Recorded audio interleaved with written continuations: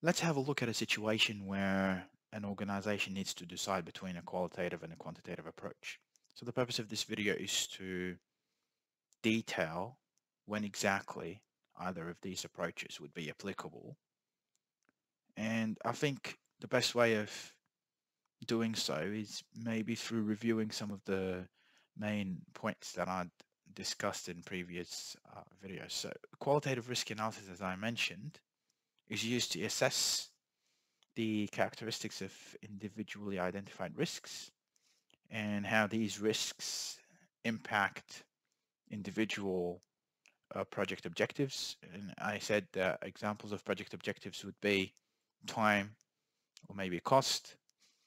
Uh, in a qualitative risk analysis approach, we are looking at the impact of the risk. We are evaluating the probability of the risk. And we're doing that through the use of descriptive words. So we use terms such as high impact, if we look at impact, maybe low impact. When we look at probability, it's high probability, medium probability, low probability.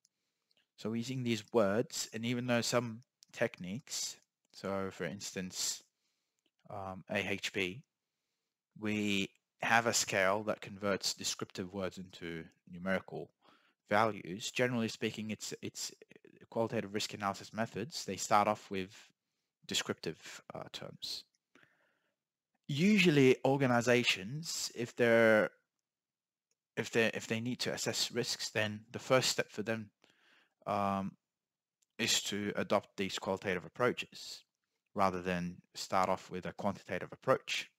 And it's because it allows us to populate their risk register. So if you have a risk register and you want to identify the risks that impact certain criteria that you guys have defined in an organization, so the project objectives, then you'd be looking at the risk register. And to populate that you definitely need to adopt a qualitative approach. So uh, technically speaking a qualitative approach is the way to start off with uh, in risk management.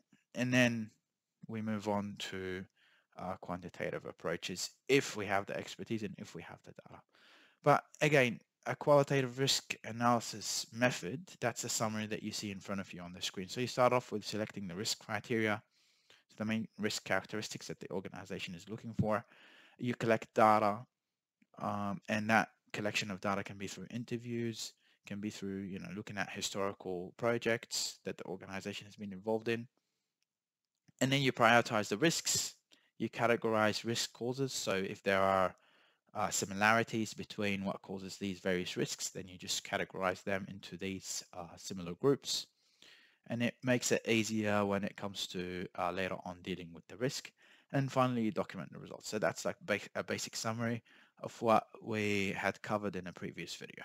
Now, quantitative risk analysis. So we've already talked about qualitative risk analysis, quantitative risk analysis methods, uh, quantitative analysis is these are techniques that um, allow us to understand the combined effect. So we're not looking at individual uh, individual risks and how they impact individual project objectives, but rather we're looking at how these uh, risks would impact the overall uh, project objectives that you have defined. So time and cost at the same time, for instance, or you know time across you know various stages in a project. In in, in these cases, you'd be uh, utilizing quantitative risk analysis techniques. It's more data focused, so you need a lot of data, and you need data where it's not uh, descriptive data; it's numerical data that you need. Okay, and in terms of the actual method itself, so you can see it on the screen in front of you, uh, we use the prioritization of risks that we obtain from the qualitative risk analysis uh, method. And that's why I said, you know, organizations usually start with a qualitative approach. You then collect high quality data. When I say high quality, I mean specific data. You know, if you're looking at duration, um, we need to find the expected duration. You probably might have as well pessimistic and optimistic duration. So let's say an activity takes six days.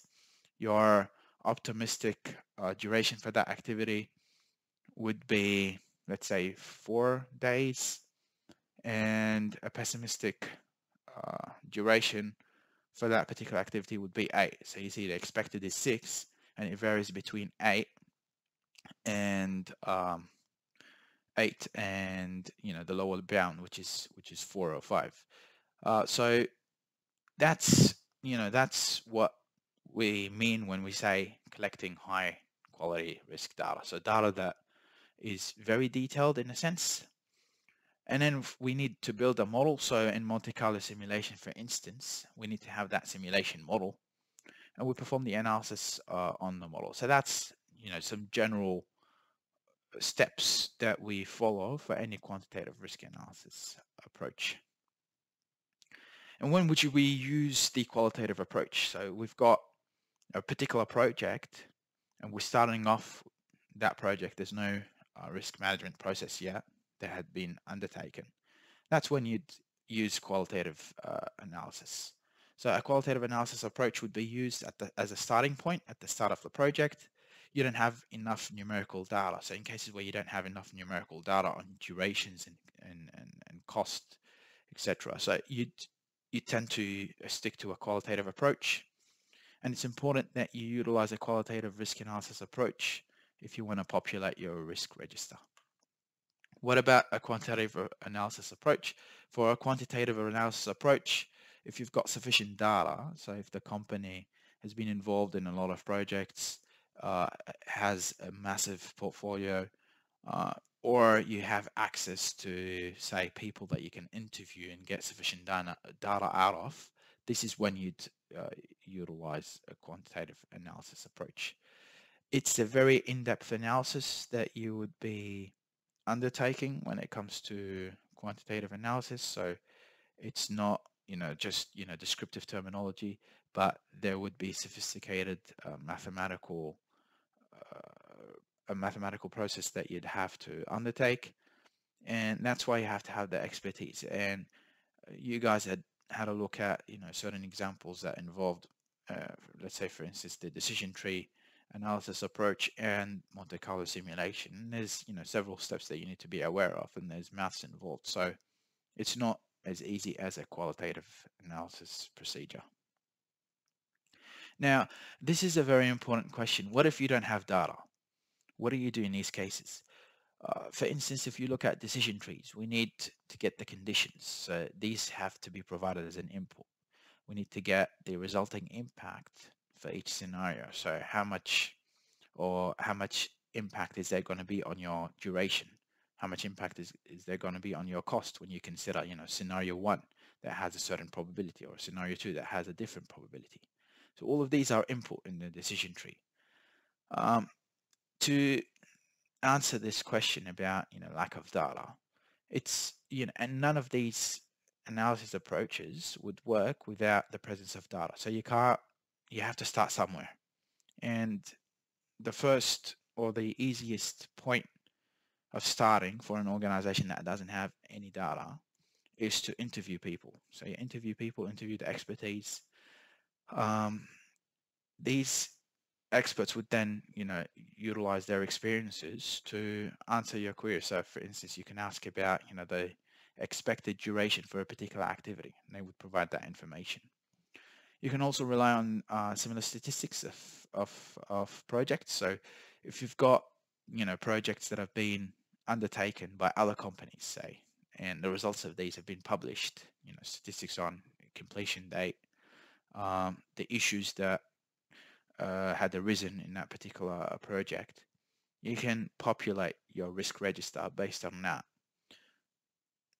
If you don't have access to people that to interview if you don't have access to historical projects of other organizations you can rely on the experience of people that you have in your organization to populate the risk register. And remember the risk register you can always uh, update it. So as you know additional risk uh, comes up in in various projects you can populate the risk register you also have to rely on research so you got to research uh, maybe you know the literature the academic literature sometimes you have to use databases so an example of that would be uh, say for instance for cost RSMeans or Rawlinson's in Australia So you utilize these to get an idea of you know expected costs, expected durations, etc. But you have to start somewhere. So you have to have some sort of data to enable you to carry out the analysis.